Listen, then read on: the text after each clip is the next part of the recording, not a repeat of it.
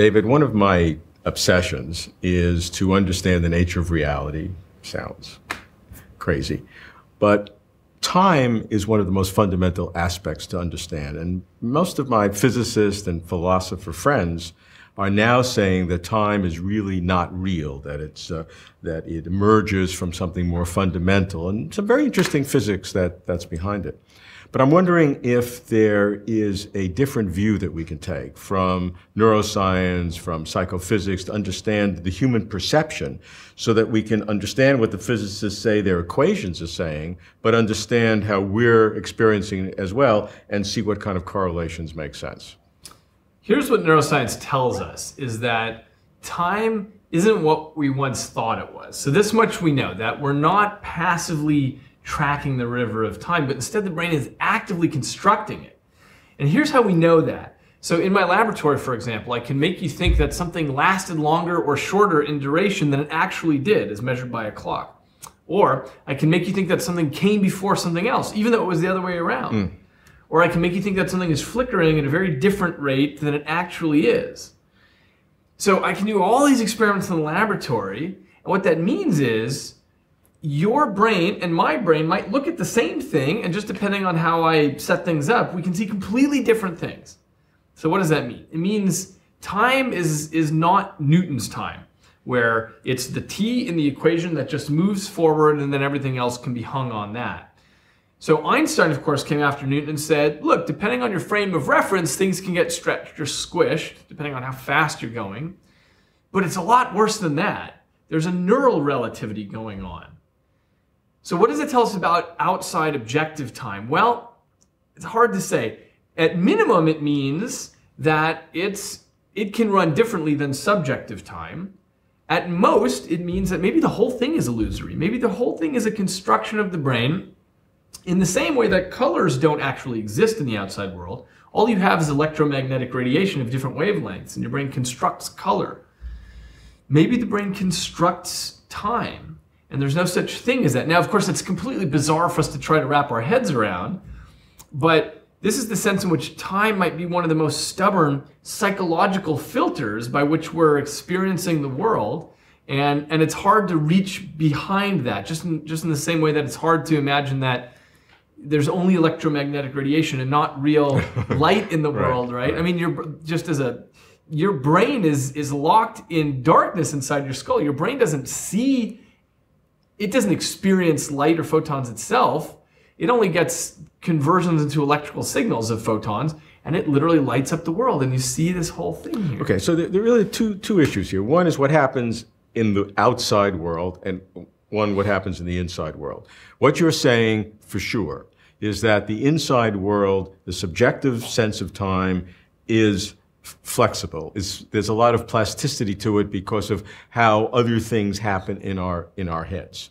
Right. There's no doubt about that. We may have doubts about what's happening in the outside world. We have no doubt internally that that we will have different senses of time. Exactly. Okay. So. Um, does that though tell us anything about the outside world? It tells us our we have to be weary of our perceptions, but but maybe we we then can accept equations, but not worry about, and be just eliminate our own perception.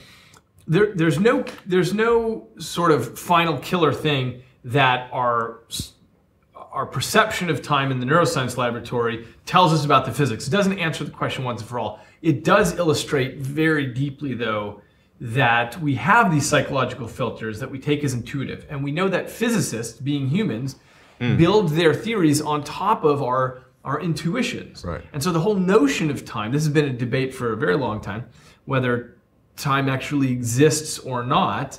And, and this at least gives us the sense that we can't assume time is sort of a categorical, fundamental thing in the outside world.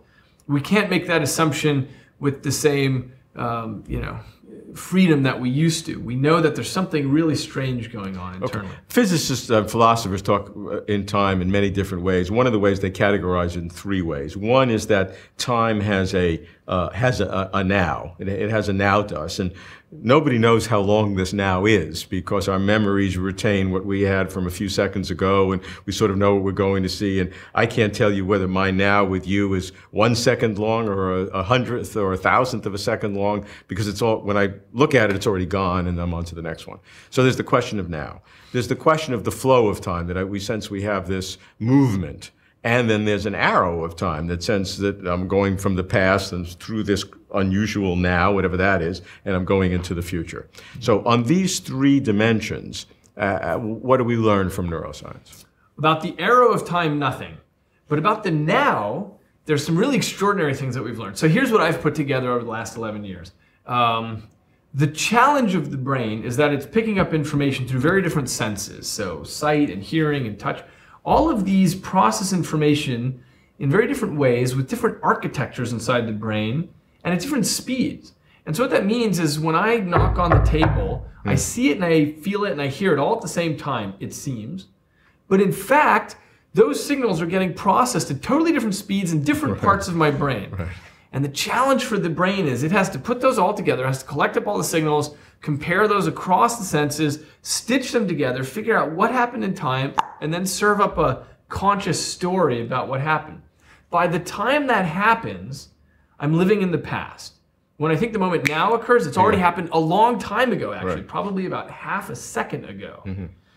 So, one thing that's very clear is that even though we feel like we're experiencing things as they happen, we're not. And um, uh, I wrote a, a, paper in Science in the year 2000 that showed that if, if, if an event happens in time, what we think happened in that moment is actually influenced by information that happened after that. Things that happened in the future of the event wow, wow. influence what we think we saw at the time of the event. And it's because information is still pouring in and getting congealed, and new information manipulates that. What? Uh, how long in the future do you have? It's about 100 milliseconds, a tenth of a second. Okay. So something happening within a tenth of a second after an event can make you change what you thought that event was. Precisely and you think you're seeing the event now, but it's already happened a long time ago. Well, one of the things that, that really shocked me when you understand how the nervous system works, and you think you understand it, and then you learn that in terms of senses coming into the brain, that there's more brain uh, uh, fibers going from the cerebral cortex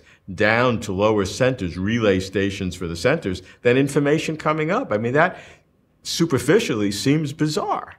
That's right. That's exactly right. So if you take the visual system as an example, you have cells from the retina going to the what's called the lateral geniculate nucleus, and then that goes to visual cortex. And so you've got a certain number of fibers running from LGN to cortex, and ten times more coming from the cortex to the 10 LGN. Ten times. That's unbelievable. Here's here's the thing. It's exactly what you would expect from a system that's actually all about internally generated activity that has expectations about what it's going to see next. And all you're actually passing up the line is did I get my prediction right?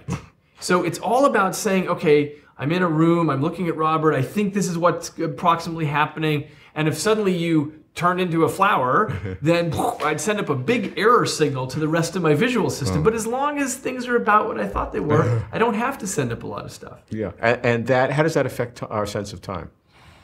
Ah, well, the general story is you have to cross vast landscapes of brain territory in order to get your story together, in order to get mm-hmm. stuff going. Mm. And something I realized a while ago, which really surprised me, is if I touch your toe and your nose at the same time, you'll feel those as simultaneous. Well, that's bizarre because the signals from your nose reach your brain very quickly, and from your toe, it has to climb all the way up your spinal cord. Right, right.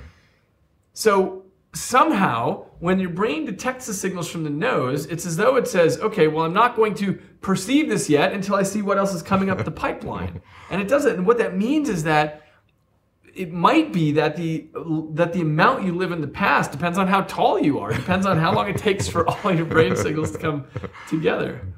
Yeah.